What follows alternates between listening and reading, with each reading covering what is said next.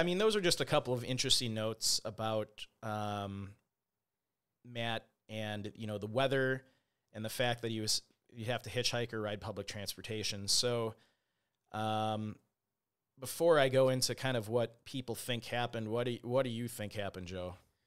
Um, going through just like our top ones that we always mention, I don't believe it's animals at all. Okay, Uh, nothing leaning towards animal. Um, I'm like between where I'd rate exposure and serial killer. Honestly, honestly, I'm Yeah. like because I for someone that experience, I would say even if he got caught up in a rainstorm or something yeah, with his backpack with experience, he could figure shelter out and then hike out Mhm. the next day. Um, versus getting picked up. And when I say serial killer, I'd say foul play. So I'll just Yeah. I'll change that to foul play, like getting picked up by somebody he shouldn't have been or whatever. Um, I'd say that's the next most likely. Those to me are all like ten percent chance ish Yeah. type stuff, not big likely. Honestly, I think the biggest thing that could have happened is that he did what he said he was going to do. He's he took his crampons. yeah, He's going on snow and ice. The biggest threat that scares me the most personally when I go anywhere with snow and ice, crevasse. hmm If he didn't have any gear at all, if he stepped on a crevasse, that's it. yeah, It's and that's that's like even if somebody knew the area you're in, they talk about there'll be people that are in a group traversing a crevasse and they're not roped up and somebody falls down and they're unable to find the one he fell in and Yeah. they saw him. It's so difficult. It's Yeah. like needle in a haystack. That's just what I've heard from search and rescue people. Um, unfortunately, I think that's probably it. yeah. I mean, I I had to cross a snowfield in the Tetons. It was probably hundred yards long, and it was on a very sloped mountainside, and I didn't have any any gear to cross a snowfield, and I took it like as slow as you can possibly walk, leaning to the side, because if I slipped, it was going to be like a 500 foot tumble down jagged rocks on like a Yeah, probably like an angle like this. yeah, just not fun. No.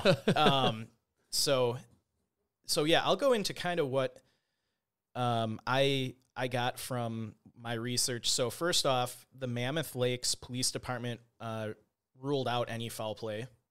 It didn't go into detail why, but um, when I was first doing this, I was like, maybe maybe the the owner of the the car shop was a suspect, but he was ruled out early on, and he actually um, there were some reports that he actually helped in the search.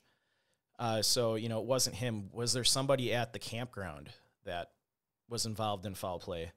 But again, the police interviewed everyone that was staying at the campground, and they all checked out according to the you know law enforcement officials. So you know they don't think it was foul play. mm-hmm. Uh, they ruled out suicide.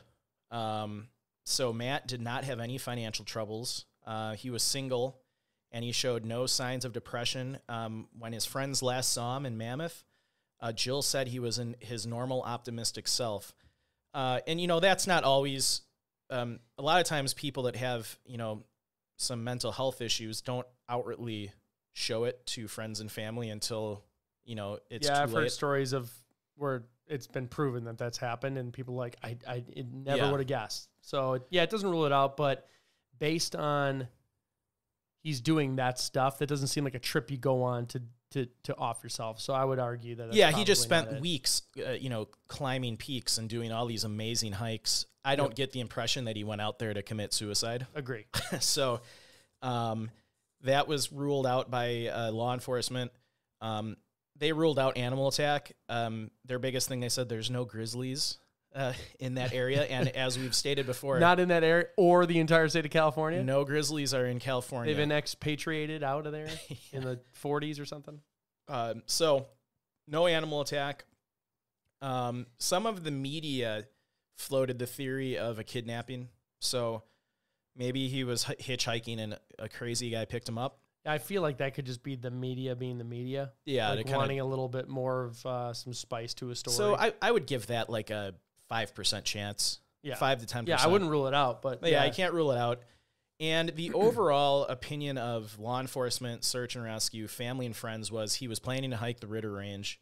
And like we stated earlier in the episode, it's a very challenging area to hike and climb.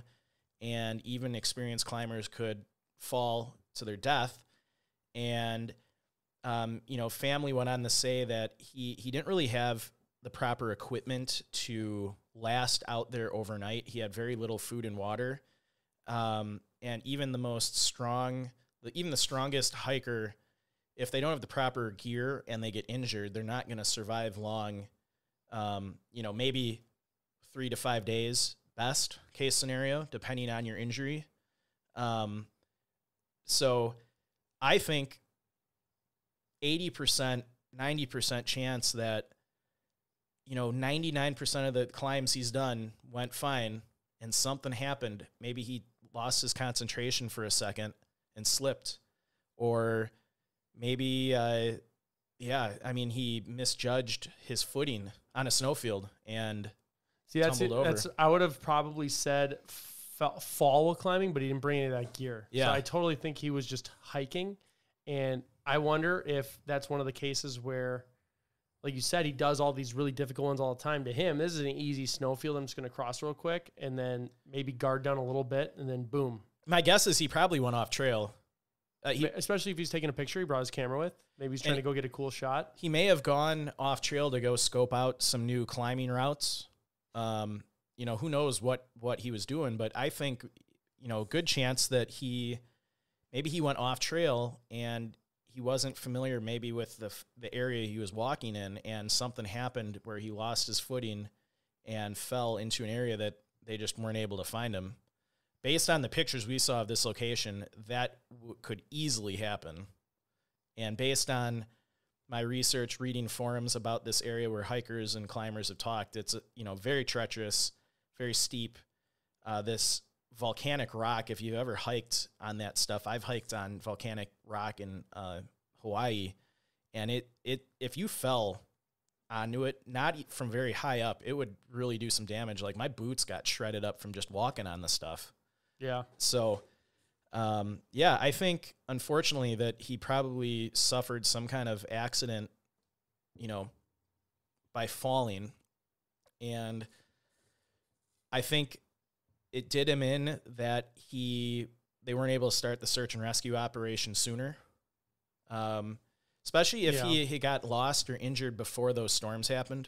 If they were having flash floods up in the mountains and he'd already fallen, th- I mean, that could have washed his remains somewhere that they'll never find. Or some sor- sort of uh, immobilizing injury. Yeah. if you're okay, he's injured, maybe he's trying to crawl up, and then you add in a couple days of rain, Yeah. hypothermia. He's up in the snowfields, gets wet. Yeah. That that's where time would have been Yep. on his side. So, yeah, I think unlike um, a couple of cases we recently did, I think this one's a little more uh, cut and dry on what I think happened to him. Yeah, I, I'm very confident. I agree with you on that. That's it's something that related. Yeah. So, um, interesting story.